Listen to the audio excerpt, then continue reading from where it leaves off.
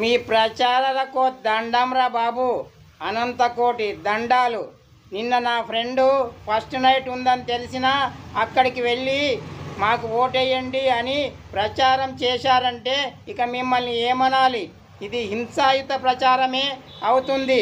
రేపు మీరు దురదృష్టవశాత్తు అబద్ధపు వాగ్దానాలతో సీఎంగా గెలిచినా కూడా మీరు మీ పర్మిషన్ తీసుకుంటేనే ఫస్ట్ నైట్ చేసుకోవాలి అనే రూల్ తెచ్చినా ఆశ్చర్యపోనక్కర్లేదు.